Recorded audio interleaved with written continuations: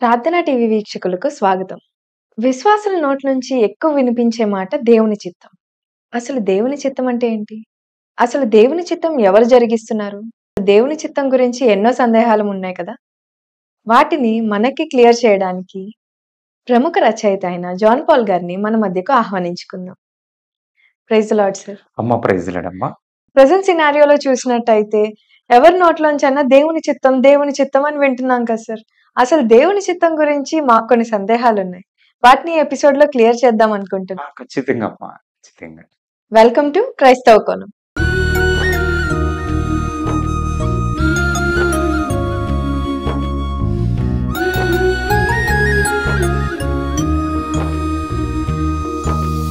క్రైస్తవ కోణం.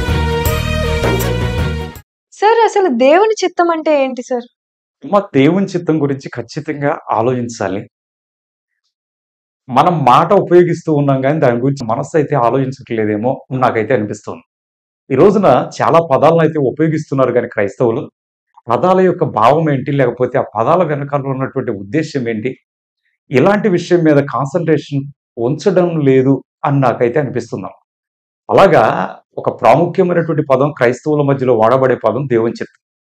చాలా ఎక్కువ సార్లు ఉపయోగించడం జరుగుద్ది. ఎన్ని తలచినా ఏది అడిగినా జరిగేది దేవుని చిత్తమే అని భావించడం కూడా జరుగుద్ది. కనుక ఇలాంటి పదం ఉపయోగిస్తూ ఉండడం అనేది చాలా సంతోషమైనప్పటికీ దీని గురించి మనం ఆలోచించాలి నేర్చుకోవాలి. దేవుని చిత్తం అంటే సృష్టికర్త అయిన దేవుని మనసులో ఉన్నటువంటి ముందుగానే నిర్ణయించబడిన లేకపోతే ముందుగానే వేసుకున్నటువంటి లేకపోతే ముందుగానే ఉన్న ప్రణాళిక లేకపోతే సంకల్పం ఆయన ఇష్టం అని చెప్పొచ్చు. అంటే ప్రపంచం అంతటి గురించి లేకపోతే భూమి మీద మానవ జాతి అంతటి గురించి ముందుగానే ఆయన మనసులో ఉన్నటువంటి ఒక ప్రణాళిక లేకపోతే ఒక ఆయన ఇష్టం ఏమై ఉంది అనేది దేవుని చిత్తమని మనం అర్థం చేసుకోవచ్చు. సార్ దేవుని చిత్తం అంటే చెప్పారు కదా. ఏది దేవుని చిత్తమో మనకెలా తెలుస్తుంది? బైబిల్ అనేది దేవుని యొక్క చిత్తాన్ని దేవుని ప్రణాళికను అర్థం చేసుకోవడానికి మానవాళికి ఇవ్వబడిన ఒక అద్భుతమైనటువంటి గ్రంథం ఈ రోజున ఆ గ్రంథాన్ని పట్టుకుని విపరీతమైన వాదనలు పెట్టుకోవడానికి చక్కగా వాళ్ళ జ్ఞానాన్ని ప్రదర్శించుకోవడానికి క్రైస్తవులు క్రైస్తవేతరులు ఇదే పని చేస్తున్నారే కానీ దేవుని ప్రణాళికను నేను ఎలా అర్థం చేసుకోవాలి దీనిలో నుండే అనే కోణంలో ఈ బైబిల్ని చదవడం అనేది చేయట్లేదు. కనుక దేవుని చిత్తం మనిషికి అర్థం అవ్వాలన్నా దేవుని ప్రణాళిక అర్థం అవ్వాలన్నా ఆ కోణంలో నుండి బైబిల్ చదవడం అనేది నేర్చుకోవాలి.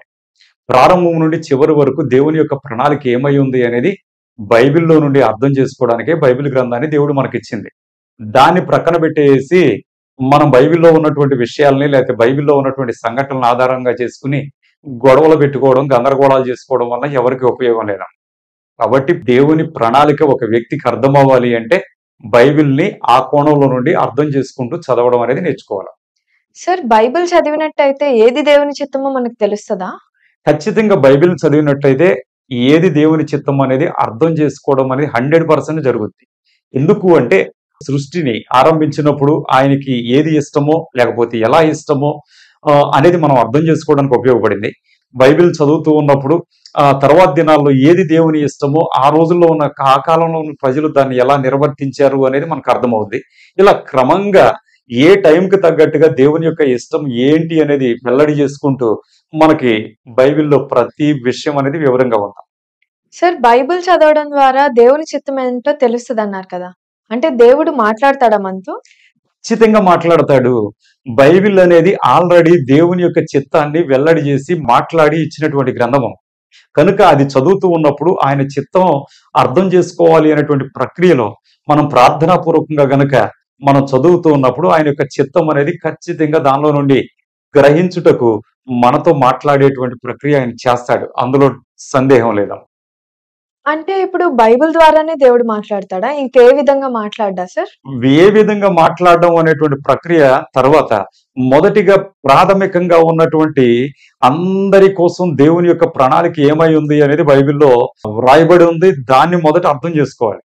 తర్వాత పర్సనల్గా మాట్లాడడం అనే తర్వాత ముందు మనోళ్ళు ఏం చేస్తున్నారంటే పర్సనల్గా నా వ్యక్తిగతంగా అసలు దేవుని ఇష్టం ఏంటో తెలుసుకోవాలి అని చెప్పేసి అసలు నేను బైబిల్ ఫాలో అవ్వకుండా లేదా బైబిల్లో ఉన్నటువంటి దేవుని చిత్తాన్ని చొప్పున మనసు మార్చుకోకుండా నా వ్యక్తిగతంగా దేవుని ఇష్టం ఏంటి అబ్బా అని తెలుసుకోవడానికి ప్రయత్నం చేస్తున్నారు. ఇది చాలా పెద్ద తప్పం. ఎందుకని అంటే ఫస్ట్ బేసికల్గా బైబిల్లో వ్రాయబడినటువంటి దేవుని చిత్తానికి మన మనసు మార్చుకోవాలి. ఆ చిత్తం చొప్పున మనం మన జీవన విధానం జీవన శైలిని మార్చుకోవాలి. ఆ తర్వాత దేవుని ఇష్టాన్ని తెలుసుకోవడానికి మనం ప్రయత్నం చేయాలి. అసలు ఏ విధంగా మార్చుకోగలమండి? ఏ విధంగా మార్చుకోవాలంటే అదే ఆ బైబిల్లో ఉన్నటువంటి ఆ ప్రణాళికను అర్థం చేసుకుని మార్చుకోవాలి. అంతేగాని మార్చుకోవడము అనే దానికి ఇవి భౌతికంగా కనిపించే విషయాలు కాదు కదా.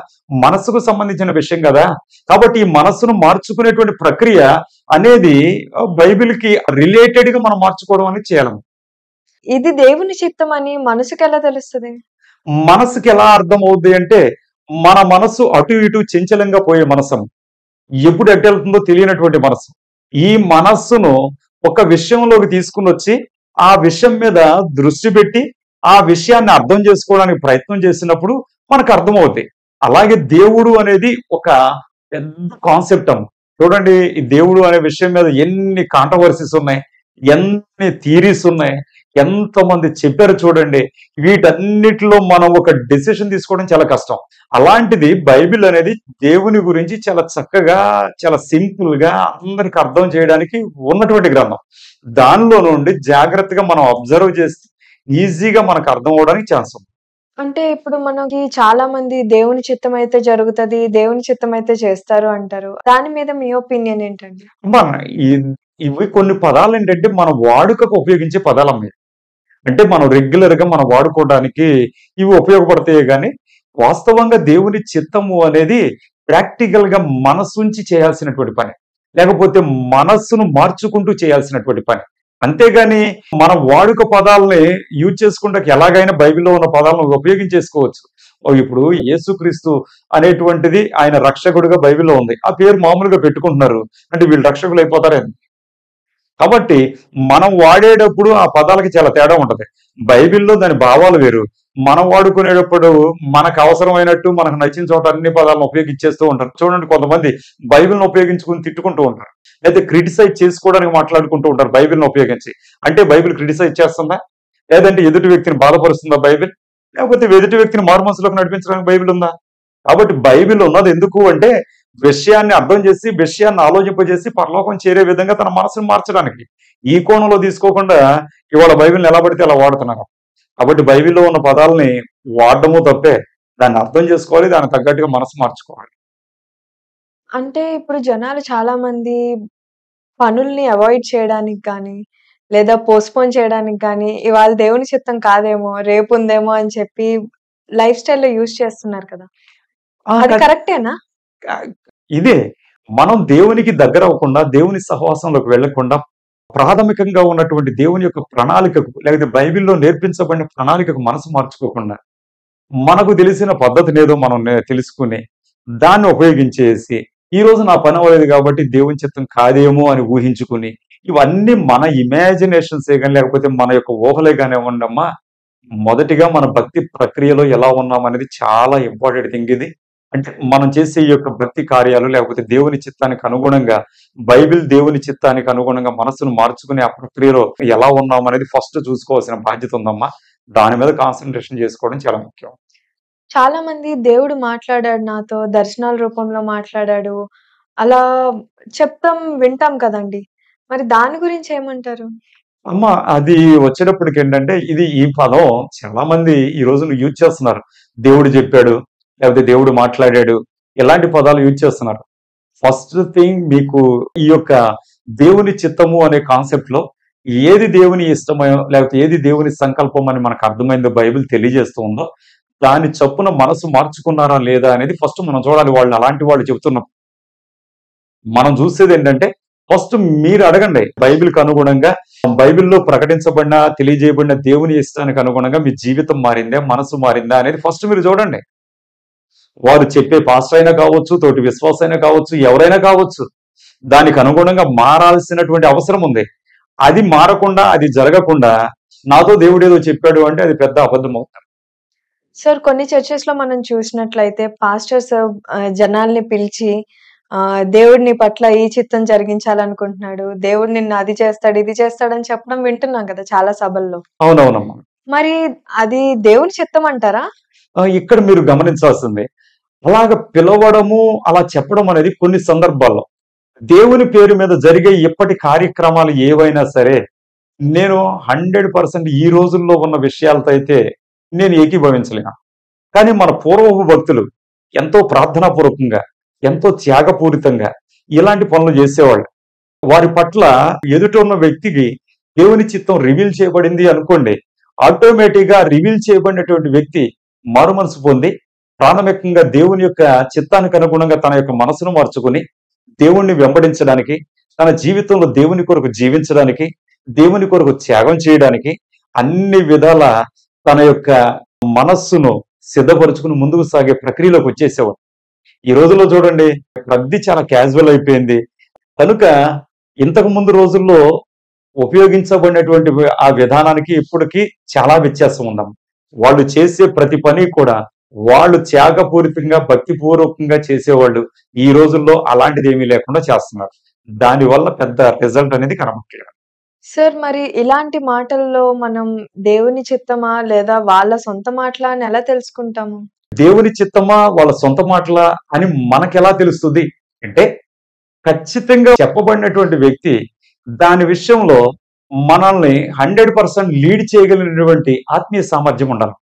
సరే ఇప్పుడు నేను చెప్పాను ఒక వ్యక్తికి విన్న వ్యక్తిని నేను నడిపించగలిగినటువంటి ఆత్మీయ సామర్థ్యం నాకు ఉండదు లేదు ఆ వ్యక్తిని నేను మధ్యలో వదిలేశాను. దేవుడు నీ పట్ల ఈ చిత్తాన్ని నాకు బయలుపరిచాడు అని నేను చెప్పాను. బయలుపరిచాడు అని చెప్పినప్పుడు ఆ వ్యక్తి నమ్మాడు. ముందుకు సాగుతున్నప్పుడు నేను మధ్యలో వదిలేశాను. ఆటోమేటిక్ ఆ వ్యక్తి యొక్క బాధ్యత ఎవరి మీద పడుతుంది? నా మీద పడుతుంది. లేదు ఆ వ్యక్తి తప్పిపోయాడు. ఆ వ్యక్తి యొక్క రెస్పాన్సిబిలిటీ ఎవరి మీద పడుతుంది? అది నా మీదే పడుతుంది. ఇలాంటి ఒక బాధ్యతాయుతమైనటువంటి పనిని చేయాలి కానీ ఏదో దేవుడిని పట్ల ఇలా చెబుతున్నాడు అని చెప్పి వదిలేసాం. ఆ వ్యక్తి ఎలా చేయాలని డిసైడ్ అవుతాడు? ఆ వ్యక్తి ఎలాగ నడుచుకుంటానికి ప్రిపేర్ అవ్వగలడు? లేకపోతే ఏ ఏ విషయాల్లో ఎలాగ ముందుకు సాగడానికి ఆ గైడెన్స్ అనేది ఎవరిస్తారు? కాబట్టి ఈ రోజుల్లో చెప్పడం అనేది ఈజీ కాబట్టి చెప్పేస్తున్నారు.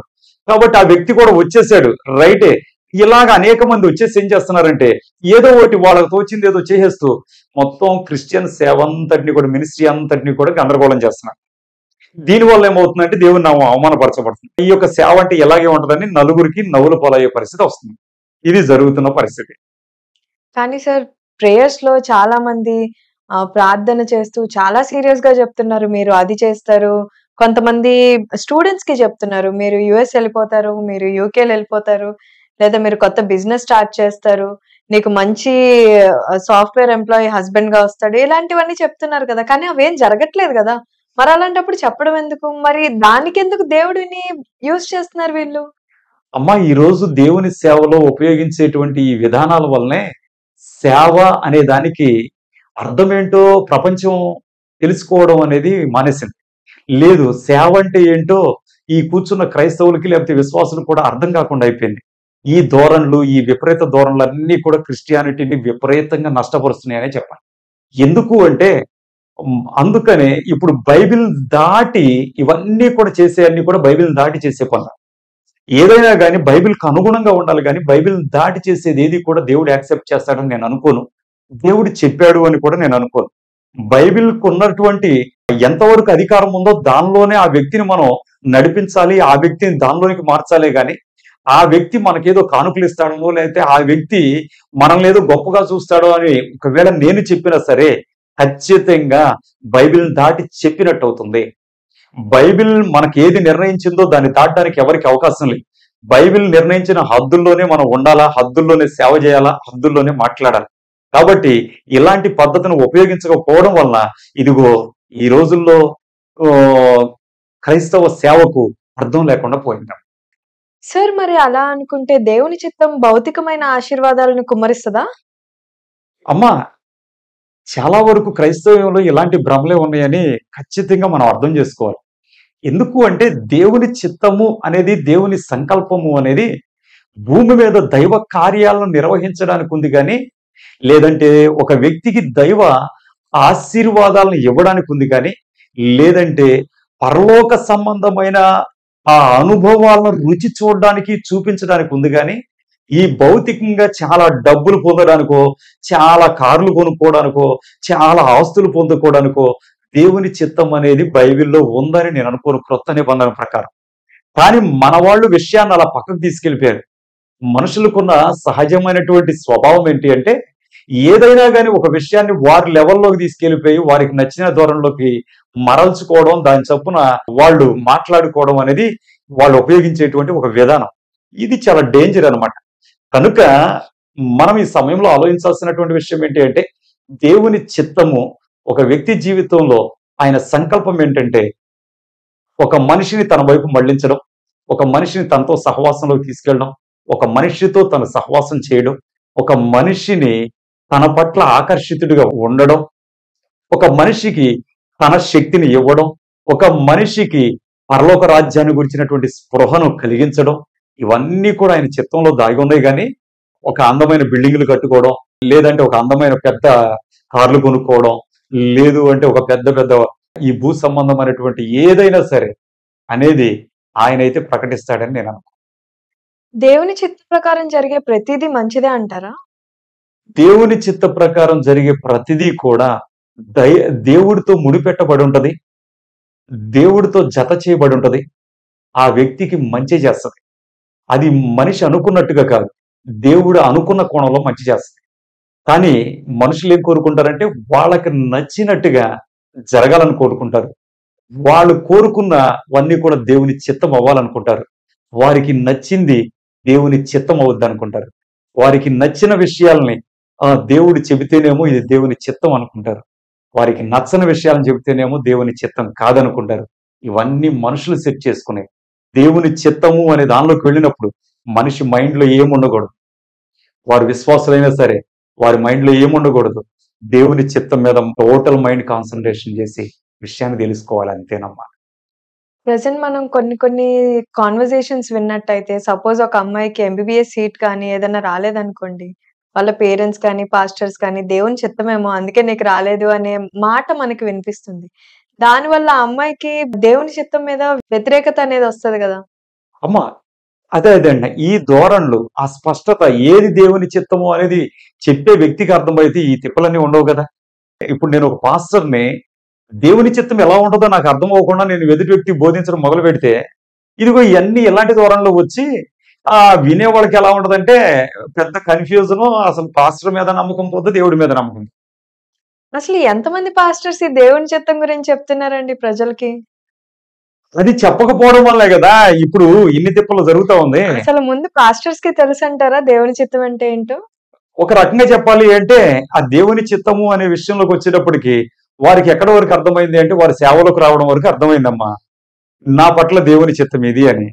ఆ తర్వాతకు వచ్చేటప్పటికి ఎలా దేవుని చిత్తములో ఎలా కొనసాగాలి ఎలా డెవలప్ అవ్వాలి ప్రజల్ని ఎలా డెవలప్ చేయాలి అనే దగ్గరకు వెళ్ళేటప్పటికి కాస్త మొత్తం వీళ్ళ స్టైల్ మారిపోతుంది వీళ్ళ ఆలోచన తీరు మారిపోతుంది దేవుడితో ఉండే విధానం మారిపోతుంది.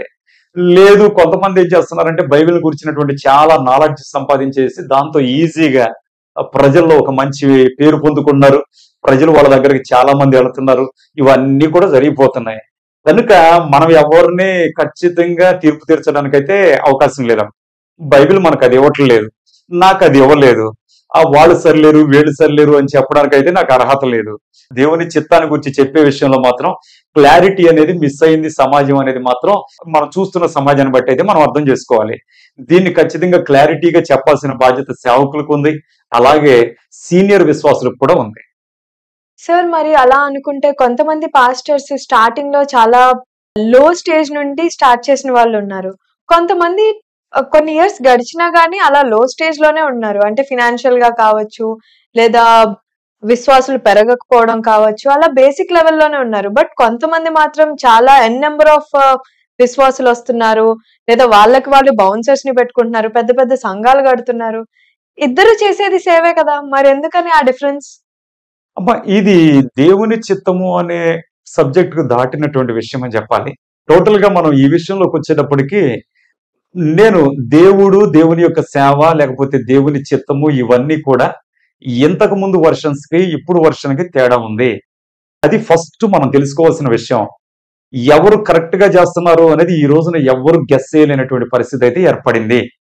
ఫలానా వాళ్ళు కరెక్ట్ అనుకోవడానికి హండ్రెడ్ పర్సెంట్ ఎవరికి వాళ్ళే రైట్ అనడానికి ఏ మాత్రం కూడా బైబిల్కి అనుగుణంగా ఫలానా వాళ్ళు ఉన్నారు ఫలానా వాళ్ళు ఉన్నారు అని చెప్పడానికైతే ఈ రోజుల్లో అయితే చాలా కష్టంగా ఉంది. కాబట్టి ఇప్పుడు ఒకళ్ళేమో ఎప్పుడు లో లెవెల్లో ఎందుకు ఉన్నారు అనే దానికి మనం ఆన్సర్ చెప్పలేం. ఒకళ్ళేమో ఎందుకు బాగా పైకి వెళ్ళిపోయారు అనే దానికి మనం ఆన్సర్ చెప్పలేం. కొంతమంది ఏంటంటే వాళ్ళ నాలెడ్జ్ తప్పని చెప్పొచ్చు. లేదు అంటే అప్డేట్ అయిపోయి ఈ రోజుల్లో ఉన్న టెక్నాలజీ వాళ్ళు డెవలప్ చేసి ప్రజలు రీచ్ అవ్వచ్చు. రకరకాల పద్ధతులు అయితే ఈ రోజున ఉపయోగిస్తున్నారు. ఒరిజినల్ బైబిల్ కాన్సెప్ట్ను ఉపయోగించి ఎంతమందిని ఎంతమంది రీచ్ అవుతున్నారు అనేది ఈ రోజున పెద్ద వేసుకోవాల్సిన ప్రశ్న.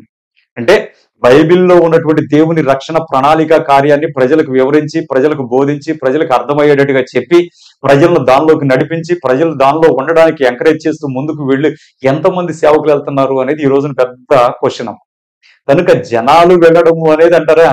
వాళ్ళకి నచ్చిన దానికోసం వాళ్ళు పరిగెత్తుతూ ఉండే ప్రక్రియ ఉంది ఇక్కడ. దేవుని ప్రణాళికను అర్థం చేసుకోవడం వాళ్ళకి నచ్చలేదు. వాళ్ళకి నచ్చిన విషయాలు చెప్పే చోట పరిగెత్తే అవకాశం ఉంది.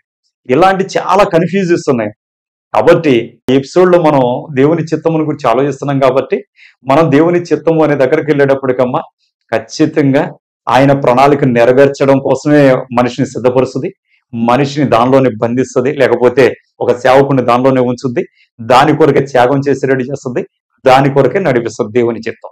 అంతే. సార్ అసలు దేవుని చిత్తం నెరవేర్చుటలో సేవకుల పాత్ర ఏంటంటారు? అమ్మా హండ్రెడ్ పర్సెంట్ ఇక్కడ సేవకుల పాత్ర అనేది ఉంది.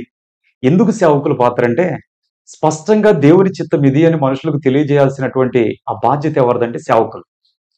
దేవునికి ఇష్టమైంది ఏదో మనుషులకు అర్థం చేయడంలో విఫలమైనప్పుడు మనుషులు వాళ్ళ ఇష్టాన్ని వాళ్ళు చేసుకోవడానికి పరిగెత్తుతారు. దేవుని ఇష్టాన్ని దేవుని సంకల్పాన్ని అర్థవంతంగా సేవకులుగా మనుషులకు బోధించాల్సినటువంటి బాధ్యత చాలా చాలా ఎక్కువ ఉంది అని ఈ ఒక్కళ్ళు కూడా తెలుసుకోవాలి. అంటే విశ్వాసులు చర్చికి వెళ్ళాల్సింది ఎందుకు అంటే వారి జీవితంలో ఏది దేవుని ఇష్టమో గ్రహించడం కోసమే. ఇది చెప్పేది ఎవరంటే సేవకులు. ఆ చెప్పే విషయాన్ని సేవకులు సరిగా చెప్పలేదు అనుకోండి దేవునికి ఇష్టమైన వాటిని లేకపోతే దేవునికి ఇష్టమైన మార్గాన్ని తెలియజేసే విషయంలో విఫలమైనప్పుడు విశ్వాసులు అర్థం చేసుకోవడంలో విఫలమవుతారు. విశ్వాసులు అర్థం చేసుకోవడంలో విఫలమైనప్పుడు విశ్వాసులు చేయడంలో విఫలమవుతారు. విశ్వాసులు చేయడంలో విఫలమైనప్పుడు లోకము చూడడంలో ఖచ్చితంగా సక్సెస్ అవుద్ది. అంటే ఈ విశ్వాసులు ఏదో వాళ్ళు చర్చికి వెళ్తారు కానీ వాళ్ళకి ఇష్టం వచ్చినట్టుగా ఉంటారు అనే పద్ధతి ఉంటుంది. కానీ దేవుని ఇష్టాన్ని జరిగిస్తారు అనేటువంటి ఒక పద్ధతిని బయటికి తీసుకురావాల్సినటువంటి విషయం ఉంది. ఇదంతా ఎవరి బాధ్యత అండి? సేవకుల దగ్గర నుండి మొదలవుతుంది ఇలాంటి ఒక బాధ్యతను చేయకపోతే సేవకులుగా హండ్రెడ్ పర్సెంట్ ఏంటంటే చాలా మంది విశ్వాసుల్ని నష్టపరిచినటువంటి వారుగా అవుతాం. అందులో ఎటువంటి సందేహం లేదు. దేవునికి లెక్క అప్పగించవలసిన వాళ్ళంగా కూడా అవుతాం. సార్ మరి ఇందులో క్రైస్తవుల పాత్ర ఏంటి? విశ్వాసులు వాళ్ళు వినే కోణం ఎలా ఉండాలి అంటే నాకు నచ్చింది చెబుతున్నారా లేదా అనేటువంటి కోణంలో విషయాలను వినకూడదు.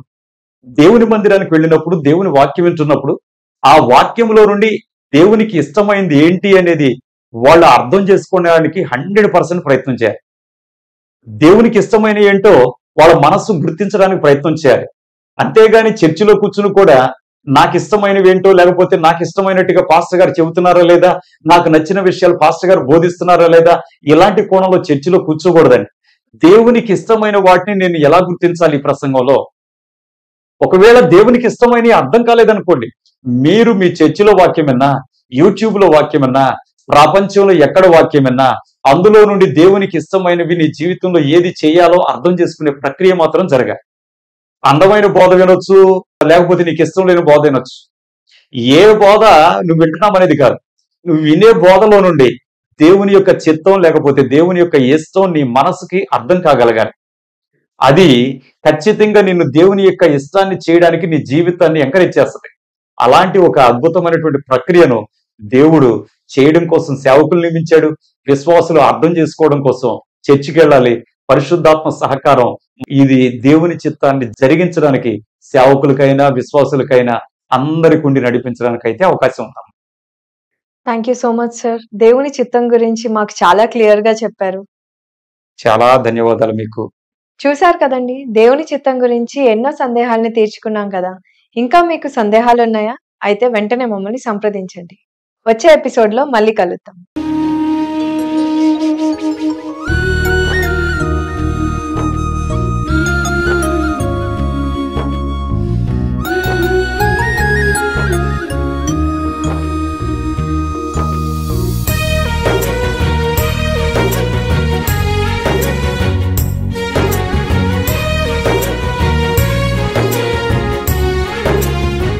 ప్రభుని యేసుక్రీస్తునామలో ప్రత్యేకంగా ప్రార్థనా టీవీ వీక్షకులకు వందనాలు తెలియజేస్తూ ఉన్నాం.